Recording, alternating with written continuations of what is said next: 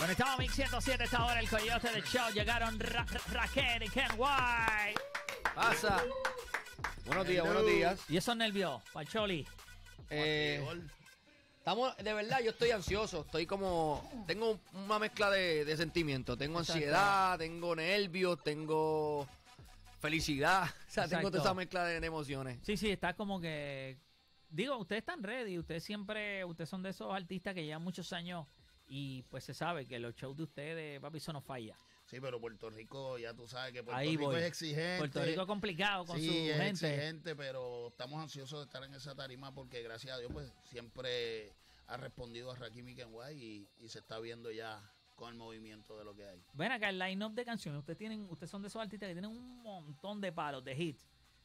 ¿Cuánto les tomó hacer el, el decir, mira, esta es la primera, esta va segunda, esta va tercera? Pues al principio fue un poquito difícil porque uno uno trata siempre de balancear el show, ¿verdad? Ajá. Siempre queremos, queremos obviamente pues arrancar el Sí, arriba, high, después la- van a ver estas partes románticas un poco más suaves para de momento retomar lo tropical Claro. y volver al perreo. Pero como tú dices, son muchas canciones que son muy populares a través del tiempo, se han convertido en, en- en himnos, en canciones, ¿verdad? Claro, Eh, eh. icónicas del género.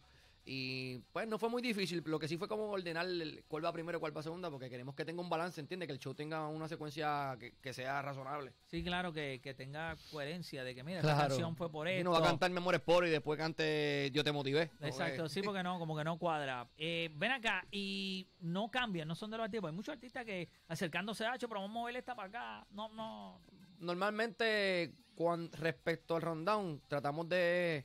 Cuando sellamos el- la lista, no movernos, Déjalo ahí, no movernos sí, de decir, ahí. mira, ya, vámonos Sí, con porque esto. es complicado por lo que te Sí, dije, por los estilos, ahora con la banda en vivo, más los bailarines. o sea, si no tenemos eso sincronizado para el día anterior, pues fíjate, es un party marquesina. Sí, sí, sí, es, es cierto. Pero obvio, no es. La gente tiene que entender, especialmente los de afuera, que no es el mismo rundown que ustedes usan cuando van para los shows de afuera. No, No. no, y obviamente este eh, tenemos lo que es la banda, eh, como así lo dice, añadimos temas que a veces no cantamos en, en Un la show normal, en los Claro. shows que nosotros viajamos. Pero sí, está todo organizadito, ya está todo bien chévere. y Yo sé que esa noche se lo van a disfrutar, porque eso es palo tras palo. Bueno, que los invitados, digo, yo sé que no se dice mucho de ellos, pero ¿cómo va esa vuelta con los invitados? Pues muy bien. eh, muchos que no pudieron por compromiso, ¿verdad? Porque creo que nos tomó un poquito de tiempo en llamarlos con Claro. todo el revolú de la organización de conciertos. Pero los van, van, van invitados importantes, invitados que, Claro. no que son colegas, que son amigos. O la gente puede tener ya una idea más o menos. Eh, van invitados que quizás no han trabajado con nosotros todavía, pero que se van a añadir en temas con nosotros y vamos a compartir temas con ellos. So, va a haber de todo, va a haber de todo. De verdad que tienen que estar, ¿verdad? Se tienen calcecitas. Va a ser un concierto, ustedes saben, mucha música, mucha variedad. Nosotros siempre hacemos un show de altura para la familia.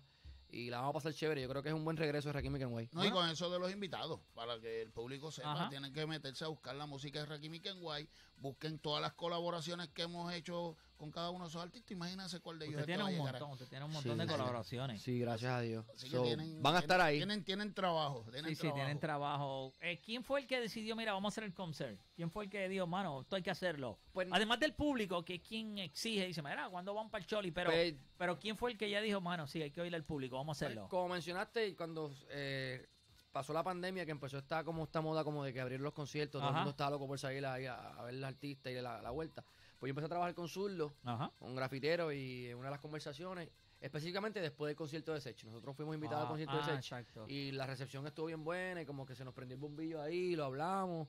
Mira que si hacemos el concierto, llama a Tarraquín, vamos a hacer la vuelta. Y ahí nació, empezamos todo, y ahí fue que cuajamos El, todo an- lo- este el anterior a este en el Choli, ¿en qué año fue? 2009. 2009. Sí, 2009. 2009, ha- han pasado un par de añitos ya. añitos ya. Sí, después estuvo duro ese concert. Sí, 360, que de hecho el formato es 360 también. este. Sí, tú vuelven con eso, te iba a preguntar, Sí, vuelven con, eh, con algo que ya ustedes habían hecho, para que sepa la gente, ¿verdad? A lo mejor los que no saben, Sí. ah, van a hacer un 13. No, no, ya ustedes lo habían hecho. Lo hicimos, que estuvo bueno, fue Wisin y Arcángel, estuvo estuvo clave, estuvo muy bueno, sí. Gracias a la gente que se dio cita, a los, a los colegas que fueron también. ¿Por qué So, decidieron volver a la, la fórmula del 360? es divertido. Aparte que cae más gente. No, y- y- y- Pero es divertido, se trabaja más, porque si tiene, que- tiene que correr. Sí, tiene que correr. Y las personas que, que hayan comprado la parte de arriba, como le dicen el palomar, cuando la tarima está en una esquina, tan más lejos, cuando tú la tienes en el medio. No, lo ves de pues, cualquier más- ángulo. más Desde la suite, desde arriba, Ay, desde que, lado. que esa es la ventaja también para el público, que, que de cualquier ángulo vamos a estar No, y los conciertos ellos. 360 el sonido es más bonito porque como es como el surround, o sea, el, el sonido se aprecia un poquito mejor, o sea, eh, tiene su... Digo, en el caso de ustedes, vuelvo y repito, no, ustedes no es ninguna sorpresa, pues ya ustedes lo habían hecho. Ya Sí. Yo lo no recuerdo antes de ustedes en lo urbano quién había hecho un 360. Hasta ahora yo y Randy creo que fueron, ¿verdad? Sí, pero yo creo Sí, pero que después. después, Fue después, Sí, por eso hasta ahora, hasta ahora. después. Sí, después. No me después acuerdo este. si, si había Y el audio antes. también lo hizo después. Sí, no, no, por eso, pero antes de ustedes Pero ninguno. antes de nosotros, yo, No, creo que fuimos los primeros, creo que 360 sí. fuimos Creo los, que los primeros, yo creo. Porque para aquel tiempo estábamos con, con, con Pina y Ajá. él decía que la lucha libre, eh, cuando se hace, se hace la lucha libre, no se pone el ring en la esquina, se Claro. pone en el medio. Y él se dejó llevar como por ese concepto de tener todo el mundo alrededor y fuimos los primeros. Sí, sí, eso es todo brutal, me acuerdo. Vamos a escuchar el tema nuevo, que yo creo que me hablen, además de lo del concert, cuánta música nueva viene. De Rakim Kenway, aquí está Perreo y Calle sonando en el Coyote the de Future. Show. Ella le gusta que le dé perreo